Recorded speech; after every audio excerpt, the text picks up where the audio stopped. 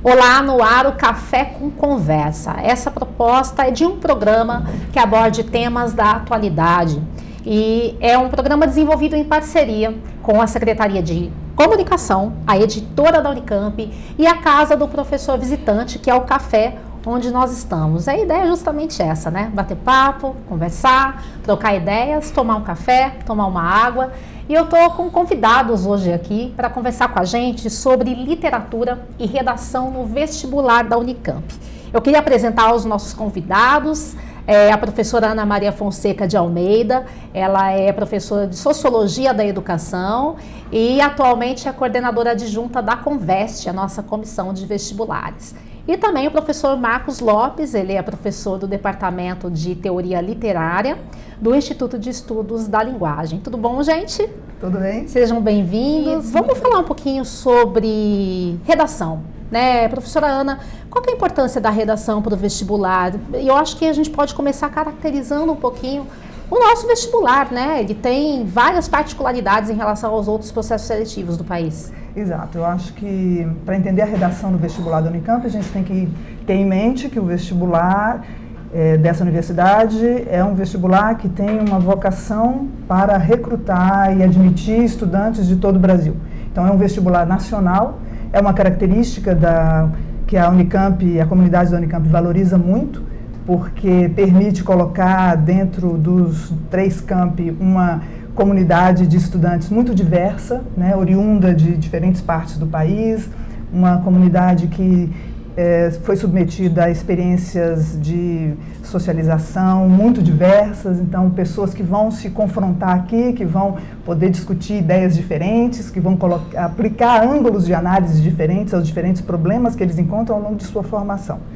Então, nesse sentido, a redação e as, todas as provas do vestibular, elas têm como uh, princípio geral uh, propor um tipo de, uh, de relação com o conhecimento que permita né, aos estudantes a, apresentarem aquilo que eles aprenderam ao longo de todo esse trajeto de formação e que ofereça a eles a possibilidade também de apresentar a sua a, sua melhor performance. Então, são questões, é, são provas organizadas a partir de um currículo geral, que é o currículo nacional, o currículo que todos os professores do ensino médio consideram como aquilo que o estudante do ensino médio deve aprender. Né? Então, é, é uma, são provas que não têm, uh, não têm um recurso a regionalismos muito específicos, que vão tratar de, uh, de detalhes do detalhe do detalhe de determinadas áreas do conhecimento. São provas sem pegadinha, né? E nessas, no contexto dessas provas, né, no meio dessas provas, uma parte muito importante da avaliação é reservada à redação, que responde por 20% da nota. A redação é uma vamos dizer assim, uma bandeira da, desse vestibular, né? É um vestibular que acredita que escrever bem é uma característica fundamental para qualquer... todas as áreas, né, Isso, para todos os profissionais de todas as áreas, né? É o que permite as pessoas poderem uh, exercer o seu trabalho para além do contexto local, do contexto imediato, né, no qual elas se encontram é, é, extrapolando para além da relação que você pode estabelecer com o outro simplesmente porque você está próximo dele. Né? É por meio da escrita que a gente se comunica é, para para fora da nossa, da nossa empre da empresa onde eu trabalho, da escola onde eu trabalho, uhum. do, do, do, da região onde eu trabalho, né? da cidade onde eu trabalho, do país onde eu trabalho. É, é por meio da escrita que a gente se, se engaja em, em redes, claro. que vão permitir o avanço profissional. Isso vale para a engenharia, isso vale para a medicina, sim, sim. isso vale para os professores, isso vale para o químico, não é verdade? Sim, sim, sim. Professor Marcos. Sim, acho que a redação, na verdade, ela tem um papel fundamental que é dar uma ênfase à formação do cidadão, né? Não é apenas, digamos, uma, um domínio técnico da, da palavra, né? Mas é uma expressão completa do sujeito que tem que atuar na vida social, nas várias esferas tanto na vida na, na, universidade, enfim, como você mesmo disse, enfim, na esfera profissional. Então, portanto, ela tem uma, é, uma, é um tipo de prova que estabelece uma relação bastante consistente né, entre uma formação acadêmica, uma formação, na verdade, técnica do conhecimento e uma atuação na vida social. Eu acho que esse é um ponto fundamental que eu destacaria assim na, na questão da redação. E também trabalhando com, com gêneros diferentes, uhum. São gêneros que os que na verdade as pessoas, os candidatos, os alunos vão ter que justamente se vão ter que lidar a redação, dia dia. ela dá, é, é, tem proposta de trabalhar diferentes gêneros aí, o, hum. o candidato pode optar pelo, pela então, narrativa, pela dissertação, como é que está isso hoje na prova? Olha, o candidato, você completa, né, Marcos? Sim, claro. O candidato, claro. ele, uhum. ele é uh, convidado a produzir dois textos, dois textos. Uhum. Obrigado uhum. a produzir dois textos. Esses textos, eles... Uh, uma característica dessa prova é que a produção desses textos é bastante situada, contextualizada.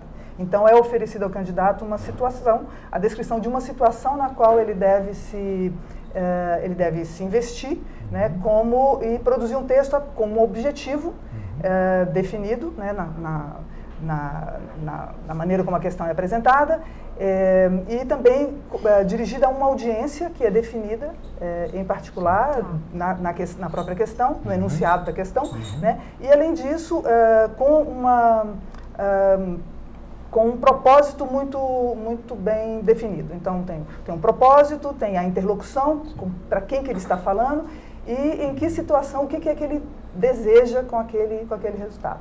A, a questão dos gêneros ela é muito importante porque essa redação, ao variar bastante o tipo de texto que é pedido, né, que, é com, que é solicitado aos candidatos, ele, ela também abandona aquela prática é, mais tradicional, mais antiga, que consistia em uh, esperar que o candidato apresentasse o resultado de um treinamento, de um, para um tipo de texto exclusivo, sabe? Uhum. Então, né, a gente vivenciou durante muito tempo, né, nos é. cursos de, de português e redação, aquilo que, sei lá, muita gente aqui deve ter é, vivido isso, vamos treinar o que é uma dissertação. É, dá um exemplo, é, é dissertação, argumentação, né, enfim, tem toda aquela pessoa, ordem de estrutura de texto. Isso, né? É, aí fica uma produção de texto muito mecanizada, uhum. abstrata, né, e que impede que as pessoas uh, realmente apreendam isso que o Marcos falou, quer dizer, que são, o que, que é importante na escrita, não é?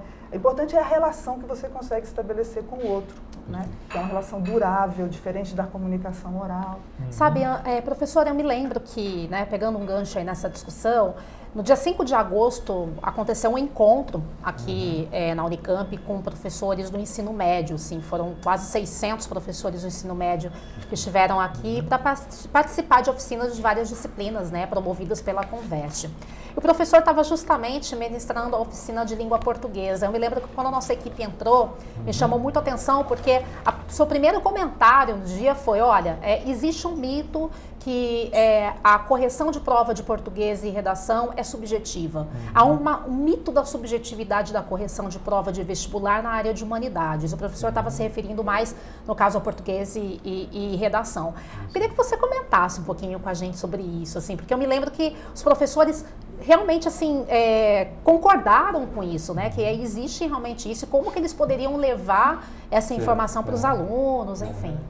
Não, perfeito. Acho que tem uma, uma ideia que eu tenho discutido isso com, com os colegas, enfim, com os alunos, mesmo, por exemplo, lá com os professores nesse dia da, enfim, do, do encontro, que é de que as humanidades, enfim, elas produziriam um tipo de saber muito subjetivo né? portanto, enfim, relativo, arbitrário, dependendo da percepção do sujeito, e que não haveria, então, portanto, uma forma objetiva de avaliar essa, essa situação de aprendizagem, entendeu? E, de, e mesmo, ao mesmo tempo de respostas que são dadas, por exemplo, numa prova de um vestibular. O que eu tentei aquele dia é, justificar para os professores é o seguinte: o que acontece é que você tem um número maior de variáveis nas respostas que os candidatos apresentam. Né? E que o que nós temos que levar em conta são essas variáveis, ou seja, o que eu quero dizer basicamente é o seguinte, quer dizer, há uma complexidade maior uhum. nas respostas que são dadas, os caminhos que o candidato pode, na verdade, dar para responder uma questão de literatura, uh, pode, na verdade, é, digamos assim, seguir, por exemplo, três ou quatro caminhos possíveis. E cabe, é claro, na verdade, a quem está avaliando, justamente perceber quais desses caminhos, enfim, são aqueles que são os mais, né, os mais consistentes. Então, não é que a prova é subjetiva, é que, na verdade, as variáveis, elas são mais complexas. Né? E o que é preciso, na verdade, então, é dar conta, ou perceber a complexidade dessas variáveis. Né? Então, eu diria que uma prova de humanidades, uma prova de literatura ou de redação, o que você tem que levar em conta é esse grau de complexidade da expressão, enfim, do, do aluno, a expressão escrita. Interessante. Gente, é, eu vou aproveitar, a gente está falando é, de redação, de literatura, eu vou entrar um pouquinho na, na questão da editora da Unicamp. Uhum. Por quê? A gente tem duas publicações aqui que estão até compondo o cenário do nosso cafezinho, né? Uhum. Que são, na verdade, da própria editora, né? Então tem uhum. o livro Vestibular Unicamp Redações. Na verdade, todo esse aqui é de 2016, porque todo ano é, a editora lança é, a edição com as 30 melhores redações do, do vestibular anterior, né? E a gente tem um livro é, de leitura obrigatória, no caso, que entrou agora, né? Eu acho que foi para esse vestibular a novidade, é uma das novidades, né? Uhum. Que é os Sermões de Quarta-feira de Cinza, do padre Antônio Vieira. Na verdade, é uma edição crítica, né? Comentada, organizada pelo professor Alcir Pécora, do IEL também. Uhum. E Fala um pouquinho sobre a importância dessa. Vamos falar primeiro da, das redações. Eu não sei, eu acho que de repente a gente pudesse uhum. falar um pouquinho sobre ter uma coletânea com modelos, né, de que possam de repente orientar o candidato, mas enfim, proporcionar a ele também uma liberdade de, de, de, de, de redação, de pensamento. Eu queria que vocês falassem um pouquinho sobre essas publicações. Marcos, Ana. Bom, é, acho que a gente pode falar uma, uma, coisa de cara, né, que a intenção de oferecer essas coletâneas é principalmente mostrar universo de variações possíveis. Né? Uhum. Não há um modelo, Sim, não perfeito. há um tipo de, de, de, redação necessariamente melhor. A, a, a redação, para ser bem realizada, ela deve cumprir alguns, alguns princípios, alguns parâmetros que estão bem expressos em todo o material da conversa, então não é nenhuma surpresa. É, essa não é dúvida surge mistério. sempre, de não ter um modelo, mas sim ter alguns, alguns critérios mínimos. Né, isso, né, é, e isso acho que no, no próprio material do Manual do Vestibular, nas provas comentadas que podem ser encontradas no site da Conveste, é, há muita oportunidade para professores, mas também para os candidatos desenvolverem uma percepção mais fina do que, que é que se espera dessa, desse, dessa produção escrita. Né? A, a, é, a, os, os, critérios de correção, o que, que é valorizado, tudo isso está muito bem explicitado, não dando, acredito que dando pouca margem para essa preocupação com a subjetividade, né? De cada redação, como ela é um produto único, uhum. né? ela vai ser lida de uma maneira completamente subjetiva. Não, há uma grade de correção, essa grade privilegia certos aspectos, isso é claramente expresso. Todos os professores e todos os estudantes, acredito, uhum. são capazes de compreender isso. E a redação, e, e a coletânea da redação, ela é um produto, eu acho, maravilhoso, porque justamente ela é super interessante de ler, né? uhum. é agradável, é divertido. Você vê o que, que essa meninada, né, que está se candidatando lá com 17, 18 anos. É, eu bati o olho tá aqui, estou super curiosa. Pra... É muito divertido, os textos são interessantes, hiper criativos, tem coisas assim que são muito inesperadas, maneira de lidar com, com o assunto ou com a, a o tema. Porque a redação tem uma coisa que a gente não falou ainda, mas que eu acho que vale a pena mencionar, é que ela está sempre acoplada a um texto. Então, na verdade, ela é uma prova de leitura e escrita, porque é avaliado também a maneira como o candidato se engaja né, na leitura desse texto que é proposto. E aí aparecem coisas muito interessantes, muito uh, pessoais, produções que expressam também o que, que há de mais, mais curioso e inusitado com essa, com essa geração, né? Uhum. com esses jovens que estão vindo para a Unicamp, que são os nossos alunos aqui. Vale a pena. Perfeito. Não, apenas, apenas reiterar o seguinte, que realmente não é assim a minha compreensão do, do livro de redações, não é para ser um modelo. Né? Tanto é que, por exemplo, nesse para voltar aqui a questão do encontro com os professores, eles pediam, na verdade, respostas que eles pudessem, na verdade, a partir delas, então, tomar como exemplos e modelos para, de certa forma, treinar, entre aspas, é. né, os, os alunos. Eles dizem, olha, isso é tudo que a gente não quer, na verdade, entendeu, né? para justamente o quê? Para a formação lá no ensino médio, que eu acho que é terrível isso, entendeu? Né? Mas também para esse candidato que nós vamos receber aqui na universidade. Então, acho que não é questão de ser modelo. O que são, você tem aí são algumas referências, algumas possibilidades de apropriação crítica daquilo que é pedido na, no, nos enunciados das, dos dois, das duas redações. Né? Portanto, então, na verdade, não, não, não, eu posso dizer, não é um modelo, mas assim, são referências né? Hum. que podem, de certa forma, orientar o trabalho do professor lá em sala de aula. Né?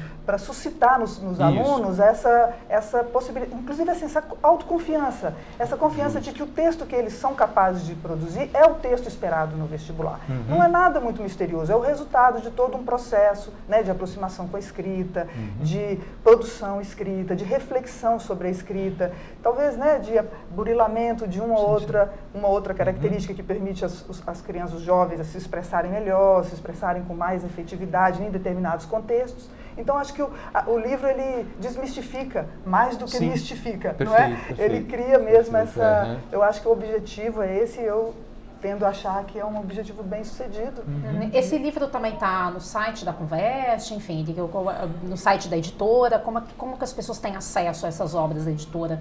Geralmente é, é pelo site, né?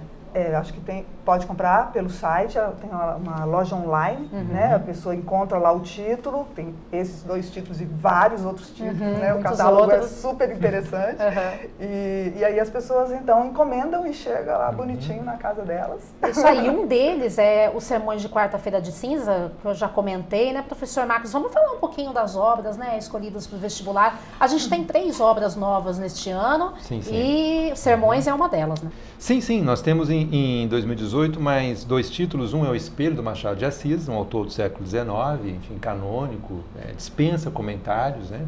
É, o Bem Amado, do Dias Gomes, e, e, os Sermões do Padre Vieira. Bom, esses três títulos, eles, assim, eles já dão um exemplo do que, na verdade, qual o espírito da lista de livros de literatura da Unicamp.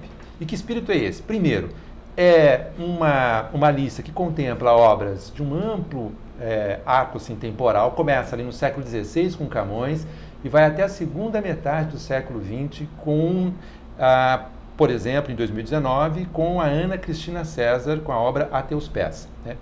Bom, primeiro, deve-se dizer então que é uma lista bastante democrática.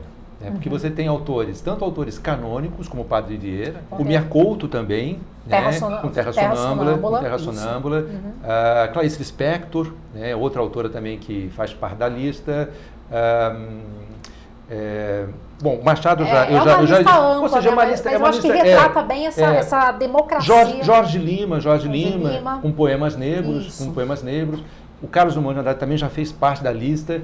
Temos para 2019 é, o História, História do Cerco de Lisboa do Saramago, que dispensa também comentários, e o Quarto Despejo da Carolina de Jesus, que é, não é uma autora, digamos, canônica, né?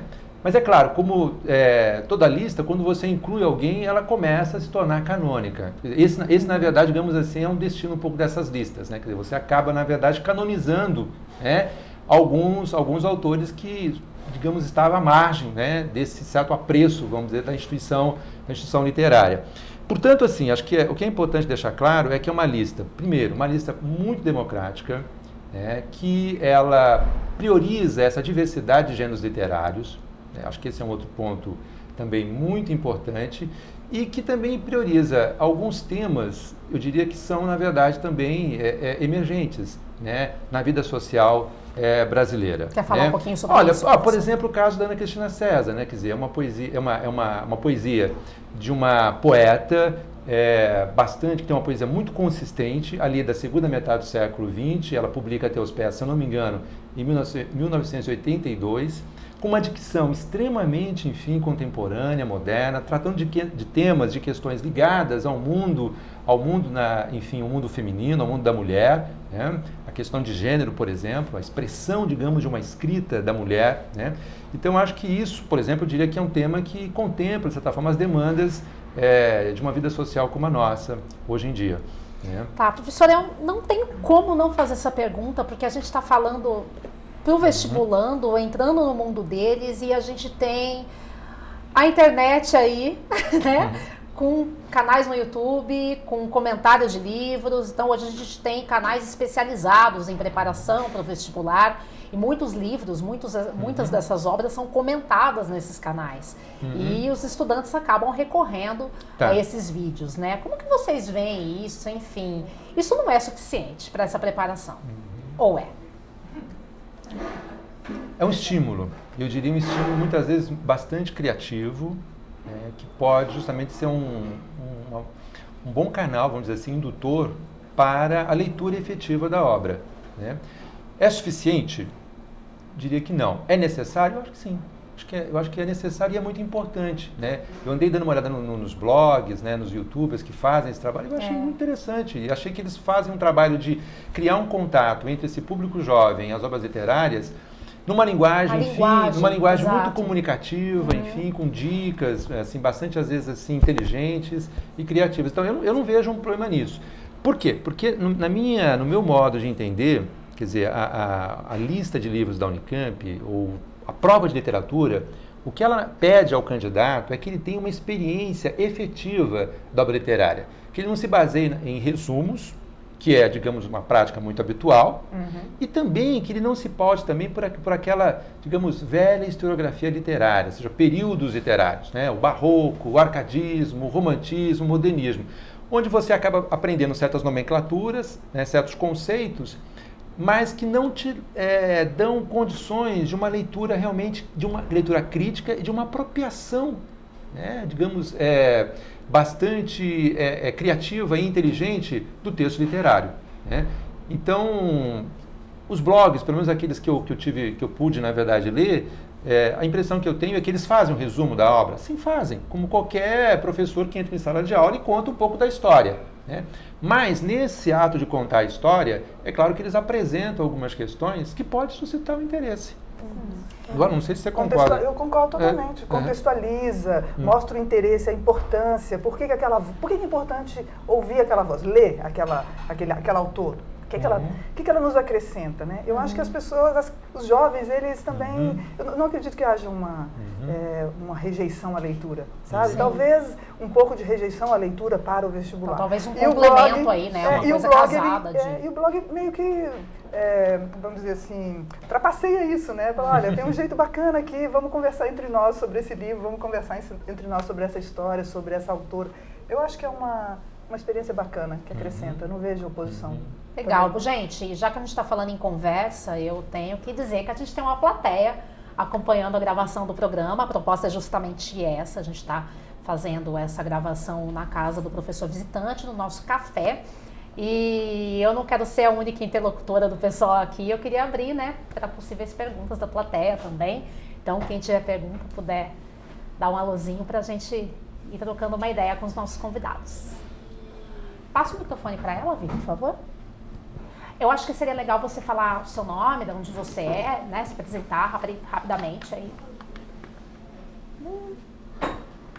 Bom, meu nome é Mallory, eu sou estudante de estudos literários aqui na Unicamp, também tenho um canal literário é, no YouTube, então faço parte do Booktube. E a minha pergunta, que eu vejo que é algo que abrange né, a curiosidade de muitos vestibulandos, é quanto à escolha das obras, como ela é feita. É, porque são livros, assim, às vezes até específicos. Então, como que é feita essa escolha das obras obrigatórias. Professor, quer okay. responder a pergunta? Sim. Acho que, em parte, eu respondi a, pergunta da, da Melody. Né? Acho que o critério principal é essa diversidade de gêneros literários. Né?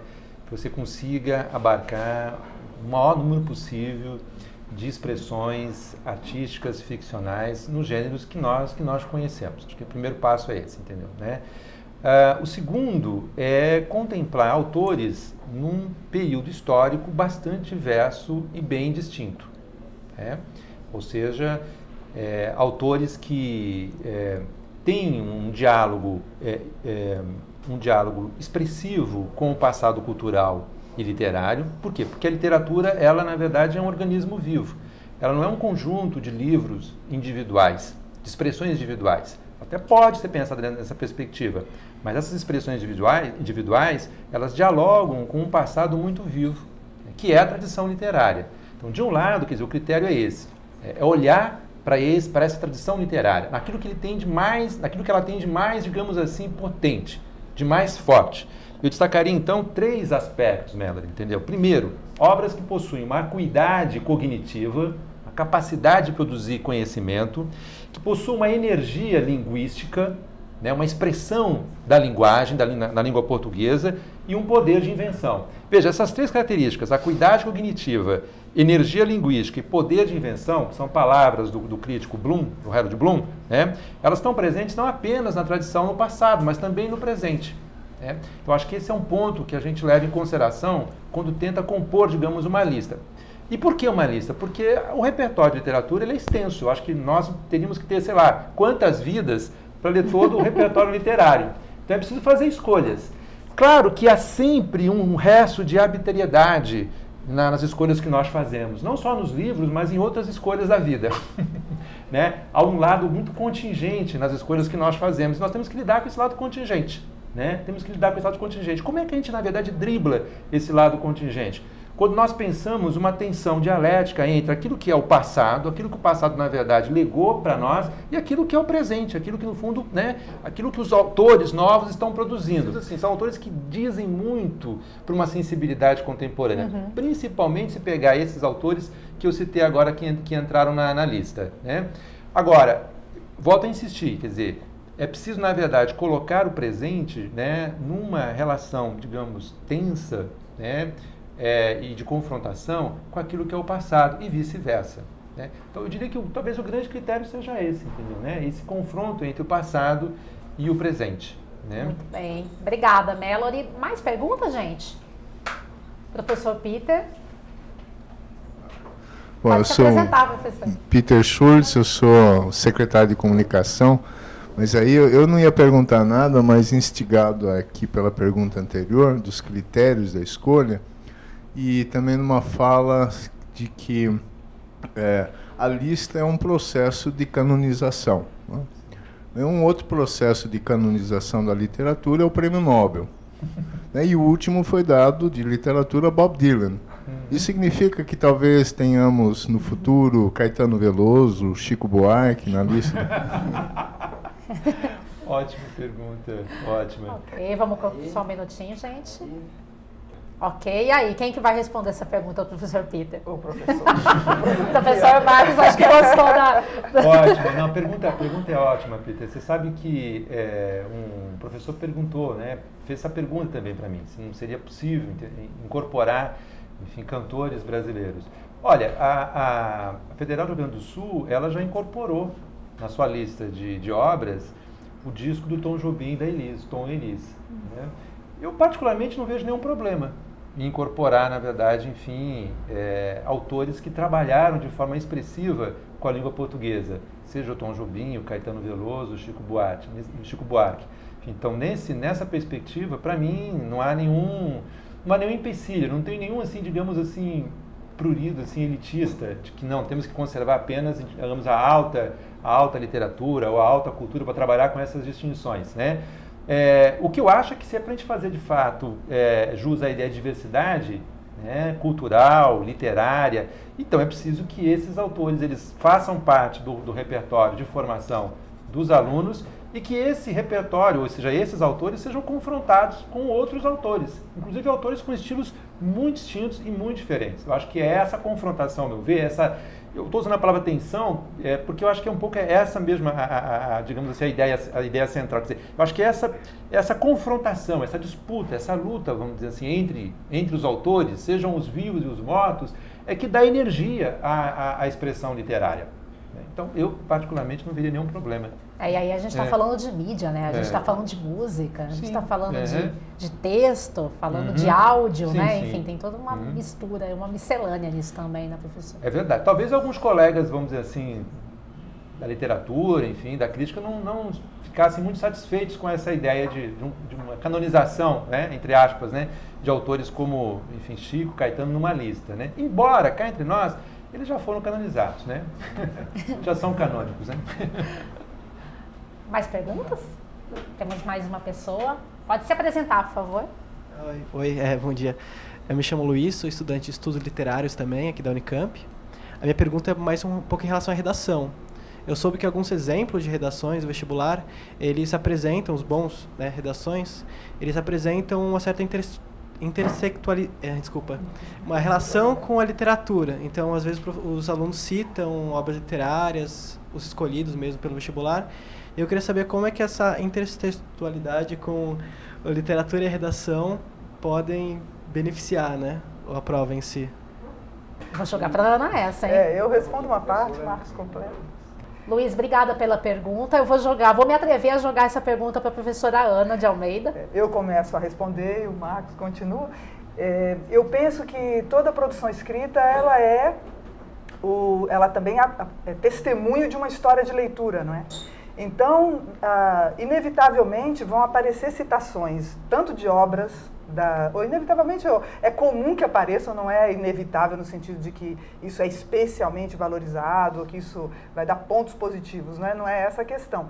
Mas a, se a história de leitura da, do candidato ela aparece de alguma maneira, tanto pela mobilização dos próprios é, textos que foram é, indicados para leitura no vestibular, mas também por outras experiências de leitura, eu acredito que provavelmente esse texto vai ter uma qualidade uh, um pouco particular, não é? E que isso vai ser apreciado. Então, acho que há vários caminhos aí de se chegar, no, como vai mostrar bem o, os exemplos que aparecem na coletânea, né? Há vários caminhos de se chegar a um bom texto para o vestibular e esse é um deles, né? A mobilização da, daquilo que foi lido antes, de tudo que se apreciou, né? Tanto na escola quanto fora dela, né? Uhum. Professor? Se... Então, é, se a literatura é essa atenção máxima, enfim, à linguagem, e ao uso da própria, da própria linguagem, eu diria que, é, eu diria então, portanto, que é possível esse trânsito justamente entre né, a, a, experiência do, do, do, aluno na literatura com a prática de uma escrita da, da, da própria, da própria redação. Né? À medida em que essa atenção máxima à linguagem se traduziria, se traduziria numa boa escrita, vamos dizer assim, né? numa escrita eficiente, consistente na, na redação. E nós tivemos, se eu não me engano, não sei se foi o ano passado ou ano retrasado, é, uma, da, uma das provas da redação, né, uma das, da, da, era justamente sobre uma fábula do La Fontaine, né, em que o aluno tinha que, é, ele tinha que, na verdade, reescrever essa, essa, essa, fábula, claro que a partir de um outro gênero, me foge agora memória qual era o gênero específico, mas ele tinha, que, ele tinha que primeiro perceber qual era a estrutura daquela fábula, como que ela estava organizada, qual era o sentido que aquela fábula estava construindo para o leitor, e ele tinha que transformar então essa estrutura e esse teor de sentido né, num outro gênero é, que, é, que foi, foi solicitado. Né? Portanto, você tinha um trânsito entre, digamos, um gênero fábula, literário, para um outro gênero da escrita. Então, eu vejo que é possível fazer essa, esse, esse cruzamento. Esse cruzamento. Uhum. Legal. Mais questões, gente? Meu nome é Lucas, eu sou estudante de Ciências Sociais da Unicamp e a minha dúvida é em relação um pouco à segunda fase. É, o professor falou um pouco do mito da subjetividade que existe é, em relação à correção uhum. e citou que existe caminhos possíveis muitas vezes. Algumas questões falam de que existe quatro caminhos possíveis e os estudantes muitas vezes falam em, é, que, que não se deve deixar a questão em branco no vestibular, porque é, para você não zerar, porque tem toda aquela questão de que é, é, mais fácil você colocar. Lógico, você não vai escrever um, um exercício de física numa, numa questão de redação. Mas eu queria saber um pouco dessa, dessas possibilidades que existem muitas vezes na, na, nas, nas questões e nas alternativas. E aí, gente? Vai lá, você, Marcos. Posso responder. Não, eu acho que esse é outro mito. Né? É, na verdade, às vezes o candidato ele escreve, enfim, para não deixar em branco, imaginando que a banca corretora vai considerar alguma coisa ali. Não, vai considerar se aquilo que ele escreveu é, corresponde ao que foi solicitado na, na, na questão é, e se tem alguma correspondência com as expectativas que a banca, enfim, elaborou e que são publicadas, são públicos, está na verdade, enfim, no site da, da, da Convest. Né? É, então, quer dizer, é, escrever, não deixar nada em branco, não garante que ele vai ter algum, algum êxito. Né? E pior ainda, se ele tiver uma caligrafia difícil. Né? É. difícil. Né? É, porque no fundo, quer dizer, imagine só um corretor que está ali, enfim, tendo que corrigir várias provas ao longo do dia e se, enfim, se haver ali contexto em que você tem que estar tá decifrando. Eu sempre falo para os professores, olha, pode parecer uma, uma recomendação muito simples e muito prática, mas olha, oriente lá, enfim, os seus alunos a ter uma escrita legível. Eles ficam perguntando, preocupados com, com macetes, com truques e tal, muitas vezes, e eu falo, olha, talvez a coisa mais elementar seja essa, ter uma escrita que seja legível, né? que você leia, eu leia, Ana leia, e nós possamos entender o que está sendo ali, na verdade, enfim, comunicado. Né? Uhum. É, a clareza sempre Sim, clareza, fundamental, inclusive clareza, na, na, é, na, letra. Clareza né? na letra e clareza nas ideias. Nas Ana, quer comentar é, alguma coisa? Eu acho que tem um aspecto das questões ditas dissertativas ou abertas que é elas, é, que eu acho que a gente recebe uma população de candidatos muito bem preparada, muito bem preparada. E às vezes a pessoa se trava ali na frente da questão achando que tem um jeito absolutamente correto de de fazer aquela questão. E às vezes deixa de responder porque talvez a ideia ali não está organizada da maneira como ele acha que o outro vai ler. Não é?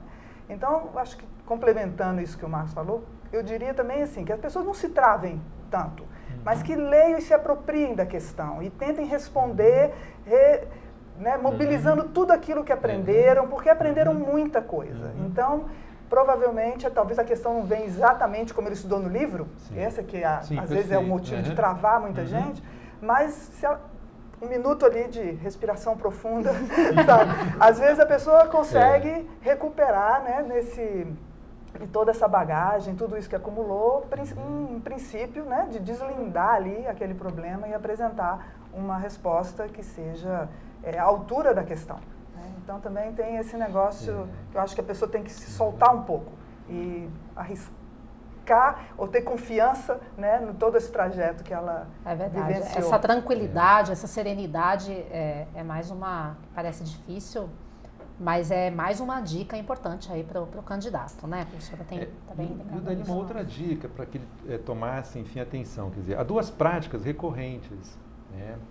É, que é ou o candidato ele faz uma espécie de paráfrase dos excertos que são colocados na prova, ou ele faz uma paráfrase, na verdade, do enunciado, ou seja, ele retoma aquilo que está lá no excerto, aquilo que está lá no enunciado, sem efetivamente responder aquilo que foi perguntado. Com isso, é claro, ele não deixa nada em branco. Ele preenche tudo. Então, ele acha que com isso ele vai ganhar alguma coisa.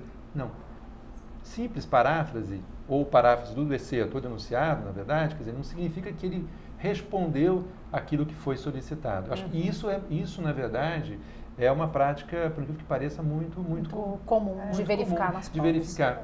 E, uhum. e, ela muitas vezes deriva desse medo. Justo, perfeito. Sabe? É o medo de é. falar o que sabe. Então eu vou repetir o que já está uhum. ali porque é. garanto alguma coisa. É. Aí você perde a chance né, de apresentar ali a sua ideia, a sua visão daquilo tudo que, que você estudou. E como a gente tem esse vestibular que não é muito particularista, em geral as grandes ideias, as grandes questões, a maioria esmagadora dos nossos candidatos passou por ela, de uma maneira ou de outra, ao longo do seu, da sua formação, no ensino médio, no terceiro ano, passou por ela. No cursinho, no cursinho popular, passou por elas. Em geral passou, então em geral ele tem algo a oferecer em resposta. Né? Basta acho que exercitar essa autoconfiança, se soltar um pouco, que a coisa vai. Isso aí, eu acho que está super respondida a pergunta, né?